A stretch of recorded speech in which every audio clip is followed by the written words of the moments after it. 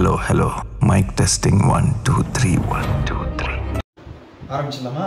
Okay hi friends welcome to Lakshmi வணக்கம்.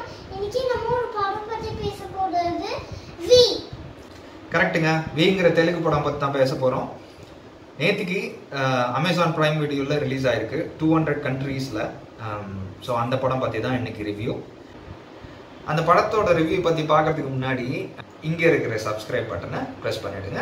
Video skip பண்ணாமல் பாருங்கள் லைக் பண்ணுங்கள் கமெண்ட் பண்ணுங்கள் ஷேர் பண்ணுங்கள் அப்போ தான் இந்த வீடியோ நான் நிறைய பேருக்கு ரீச் ஆகும்.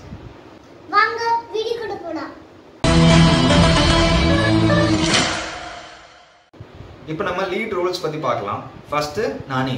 ஸோ அவர் ஹீரோவா வில்லனா அடுத்தது நிவேதா தாமஸ். ஸோ அவர் அவங்க தெலுங்கு இண்டஸ்ட்ரியை இப்போ கலக்கிட்டு இருக்காங்க. அடுத்தது சுதீர் பாபு. அவர் ஒரு போலீஸ் ஆஃபீஸராக வராரு. அடுத்தது ஆதித்ய ராவ். ஸோ நம்ம காற்று வெளியீடுகள் நடிச்சாங்களே அவங்க.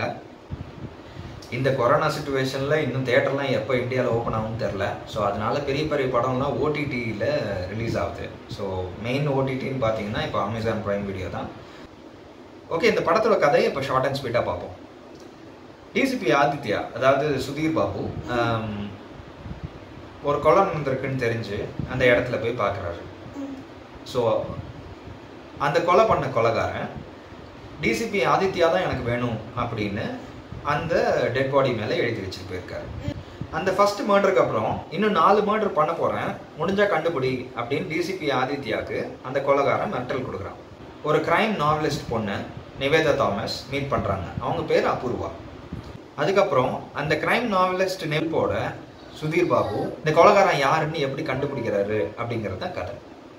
அந்த ஃபர்ஸ்ட் கொலைக்கு அப்புறம் இன்னும் நான் நாலு கொலை பண்ண போறேன். உன்னால் முடிஞ்சா என்னை பிடிச்சிப்பாரு அப்படின்னு நானி சுதீருக்கு ஒரு சேலஞ்ச் கொடுக்குறாரு. அந்த சேலஞ்சில் சுதீர் நானியை பிடிச்சாரா? இல்லையா? இப்போ இந்த ரிவ்யூவில் படத்தோட ஃபர்ஸ்ட் ஹாஃப் செகண்ட் ஆஃப் அப்படின்னு ரெண்டாக பிரிச்சிருக்கோம்.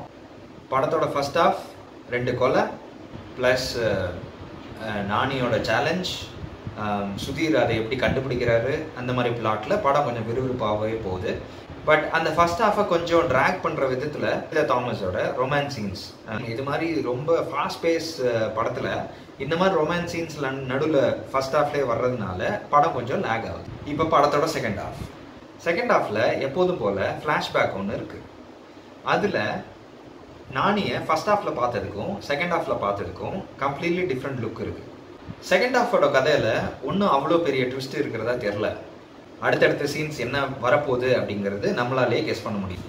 இந்த படத்தில் பேக்ரவுண்ட் மியூசிக் கேட்டிங்கன்னா அந்த மியூசிக்கை எங்கேயோ கேட்ட மாதிரி ஒரு ஃபீலிங் வரும்.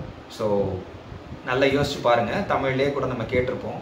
இப்போ இந்த படம் தேட்டரில் ரிலீஸ் ஆகிட்டு இருந்துச்சுன்னா நம்மளுக்கு ஒரு இன்டர்வல் கிடச்சிருக்கும். நடுவில் போய் பாப்கார்னு சமோசா எல்லாத்தையும் போயிட்டு சாப்பிட்டு கொஞ்சம் ரிஃப்ரெஷ் பண்ணிட்டு திருப்பி வந்து உட்காருவோம். ஆனால் இது ஓடிடியில் வீட்டில் பார்க்கறதுனால அப்படியே கண்டினியூ பண்ணோம் அப்படின்னா ஃபர்ஸ்ட் ஹாஃபுக்கும் செகண்ட் ஹாஃபுக்கும் அப்படியே சேஞ்ச் தெரியும். ஏதோ வேறு படம் பார்க்குற மாதிரி இருக்குது நானியோட நடிப்பு வழக்கம் போல். ஸோ அவரோட நேச்சுரல் ஸ்டைலில் அவருக்குன்னு உண்டான பாணியிலேயே அவர் நல்லா நடிச்சிருக்காரு.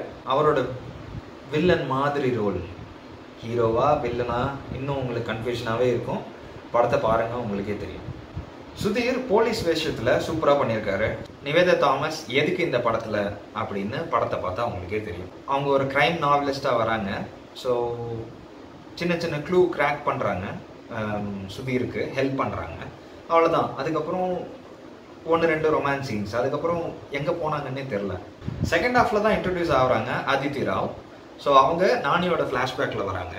ஸோ அவங்க ஒரு கிஃப்ட் ஷாப்பில் நானிக்கும் அவங்களுக்கும் உண்டான ஸ்மால் ஸ்மால் சின்ன சின்ன கெமிஸ்ட்ரி நல்லாயிருக்கு மொத்தமாக படத்தோட ரிவ்யூ அப்படின்னு பார்த்தீங்கன்னா நானிக்காக பார்க்குற கூட்டமே ஒரு தனி கூட்டம்.